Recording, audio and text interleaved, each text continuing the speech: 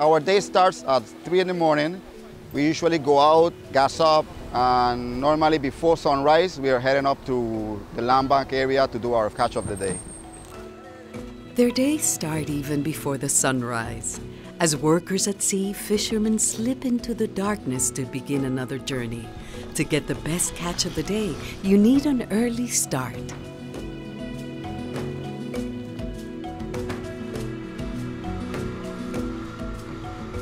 Depending on what they plan to capture, time and gears change. Different species of fish have varying activity patterns. This is the daily routine of the vast majority of the fishers in the U.S. Virgin Islands, where commercial fishing is relatively small and artisanal. Fishers from St. Croix are not an exception. For her son Nicky Martinez, a commercial fisherman, checking the traps released the day before is the first attempt to get his daily catch. Then we go and we do a variety of fishing. If we see traps, and, uh, if you have to pull traps that day, we pull no more than 20 traps.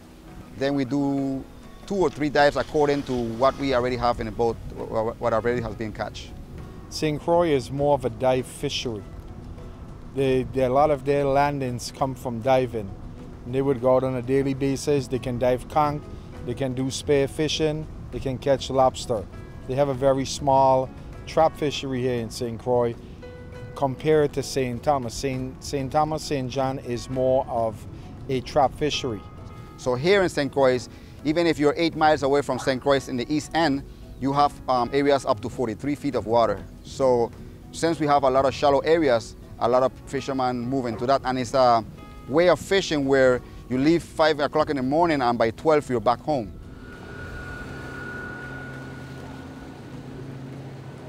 But before getting home, the fresh catch is delivered according to the demand order for that day. We have two vendors that buy our fish from us for wholesale price. So when we get back every day, um, my son and my brother live in a different truck to deliver the lobsters, and myself, I come straight to the market, and we have people that we sell our catch to wholesale. Local fresh fish markets are set up in two main spots across St. Croix. Open daily from 11 to 1 o'clock, they are the perfect place to buy the catch of the day. Consumers prefer plate sized fish, and parrotfish is the main staple food. We have probably 15 fishermen that come here every single day from Monday to Saturday. We sell local reef fish, we sell lobster. When the season for the conch is open, we also sell conch here. It's been here for about, I would say, six, seven years in this particular spot. And it started out with me and my grandpa, Jesus, and a friend of ours named Melo Martinez. And we started out here and it just, we had a good clientele. Like a lot of people know us for fish. So the most species I get is the spiny lobster, the parrotfish, triggerfish, and the variety of snappers and groupers. So, and not like the big groupers, like I'm talking about the hinds, the conies, those species, those are the one I do every day. And every day I sell them out. I do good. Marketing is very good on the island. Locals love the fish. Fishermen in St. Croix won't harvest more than they believe they can sell. Most of their produce is sold before they come to shore. Everything I catch, I sell. I don't catch nothing that I can't sell. Fishing techniques and instruments have varied over the years. Currently, most of the commercial fishers are divers. Nevertheless, gill nets, lines, hooks, and traps figure among the fishing arts used in St. Croix. Fishers build their own traps or pots using different kinds of materials. The chicken wire is still used. The chicken wire is still used in most of the Caribbean. But I, I use this because it's more available. That's availability. There are also simpler fishing gears, such as lines and hooks. When I started catching the, the octopuses from a guy from Vieques, he taught me how to catch them. I love it. I love it. I've been doing it since 12. I love it, you know. I use a hook to catch the octopus. I use this.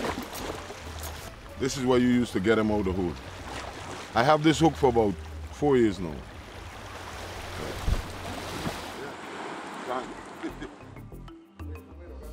There are fishing arts that are art themselves. sewing nets, and building traps require a lot of time, practice, and creativity.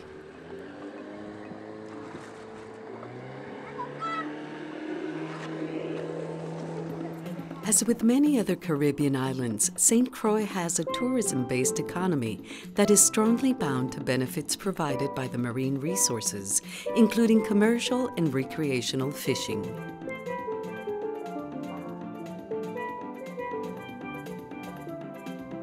The largest of the U.S. Virgin Islands is 28 miles long and 7 miles wide. Its Danish ancestry is reflected in Christiansted on the east, with its harbored side boardwalk.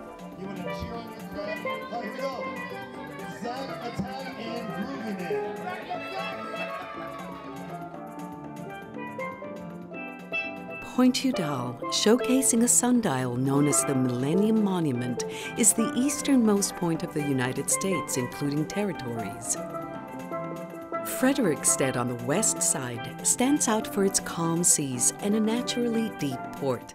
With a population of about 50,000 permanent residents, St. Croix has a long fishing tradition that results from the encounter of different cultures. Overall, the fishing industry here in the Virgin Islands, it's really culturally rooted and economically we are always committed to ensuring that it continues to be a vibrant part of um, our economy. We, the last assessment that the department was, was able to, to produce showed that the Virgin Islands fishery, it contributes to the economy approximately seven to 10 million dollars annually. We know that fishers. They are able to provide hotels and restaurants with daily catch. And we know that the catch is able to not only feed Virgin Islanders, but the tourists that come here on a daily basis. And as we speak about fishers, we don't want to forget also our recreational fishers in the territory. Again, it's how I believe individuals become commercial fishers. In the Virgin Islands, I think the, the annual consumption is 27 pounds per person, while in other places it's only like seven or eight pounds per person when it comes to eating fish. We, we don't export any of our, of our fish. All our fish is consumed locally. So whatever fishermen we have on St. Croix doing commercial fishing, they sell all their fish locally to the consumers, which ends up being well over 800,000 pounds a year of all species put together. When you look at the food chain, my look for the fisherman that he's a public servant.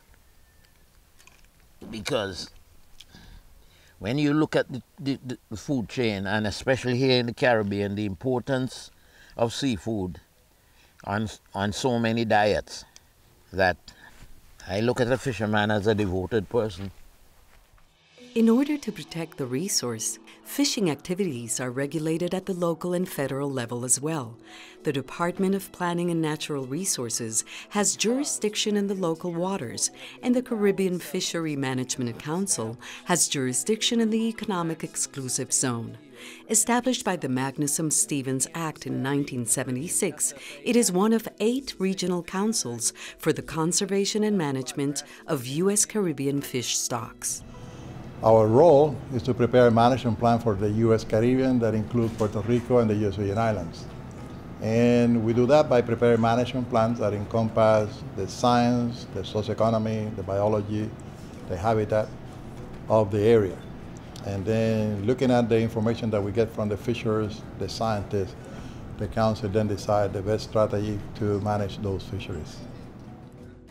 Closed seasons, annual catch limits, quotas, and fishery management plans are part of the mechanisms used by the governmental agencies to protect the fish stocks, allowing them to reproduce and ensuring that there will be fish for future generations. Well, we have seasonal closures, which I am pro um, regulations because it helps promote the, the fish to spawn and um, procreate we have been seeing over the years the snapper um, close area, the queen conch five-month closure. It has been working. We see how the lobster, the conch, and all those, those species are being procreating in abundance. We, we have a lot of abundance in conch. We have a lot of abundance in lobster here in this island. So we want to make sure that the fishery itself remains healthy and that people can provide the fish that are needed by the local communities.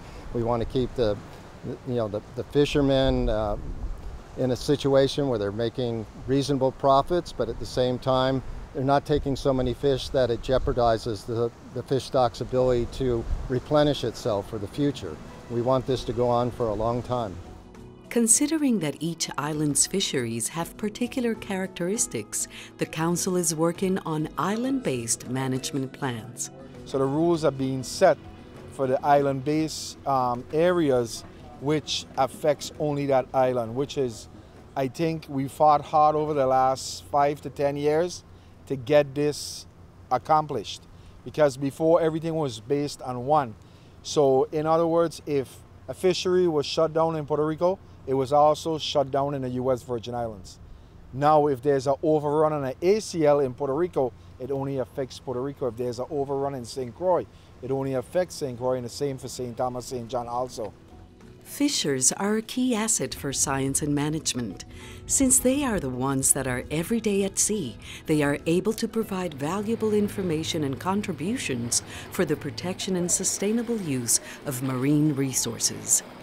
I represent the fishermen of St. Croix through the FAC, which is the Fishery Advisory Committee, and I am I'm also a district advisory panel um, member but with the council itself, I go to some of the meetings. If the council uh, realize that I have any questions or any support that I can give into whatever regulations they're doing, they call upon me to go to these council meetings to represent that, that questions or to represent whoever, whatever um, questions my fishermen have.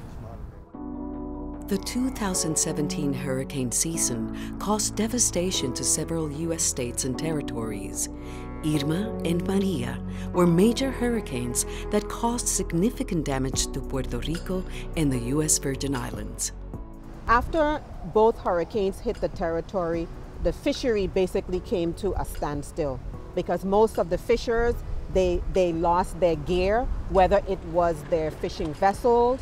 Um, a lot of um, fishers they do fish trap, and they lost most of their fish traps to to the hurricane so a lot of the fishers, um, they had to do other things to supplement uh, their fishing.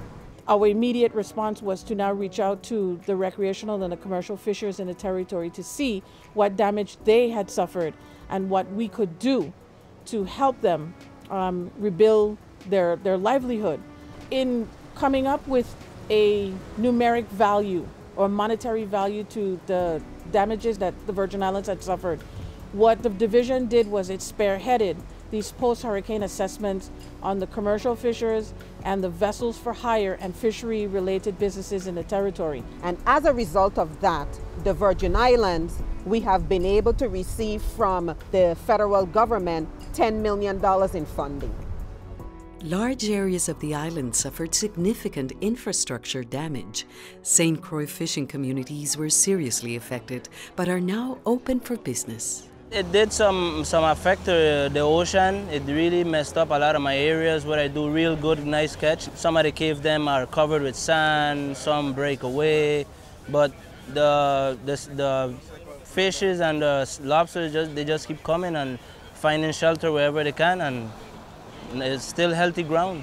After Hurricane Maria, we have been having a success with sales. A lot of locals have been helping us out and buying the local fresh fish.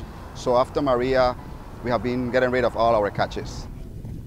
Even though the hurricanes may come, and for our part, we think it damages the reef. On the other end of nature, it maybe was necessary to do the cleaning from the pollution that maybe we have created sometimes. So it's a cleaning process so the reef do comes back. Crucian fishermen are in a path to recovery, working with the Caribbean Fishery Management Council to ease the impact of future natural events. Immediately after the hurricane, the governor normally implements a curfew, and the fishermen had issues with that because they cannot go out of their house for like 12 hours a day, so they could not go out and fish. Because there's no power, there was, there was hoping to bring back fresh fish for the, for the people of the Virgin Islands that were needing of, of fresh food. They were just not given the opportunity without a curfew pass. But we're going to be looking at that and trying to work with the government to issue the fishermen curfew passes to be able to go out and, and feed the, the people. St. Croix stands as a meeting point for the old generations of fishers, the present ones and those to come. Fishermen and agencies are working together towards sustainability to ensure the health of the ecosystem and guarantee thriving fisheries for the socio-economy of the island. As Tom Daly wisely said, Our culture tells us that you, you paddle your own canoe. You paddle your own canoe.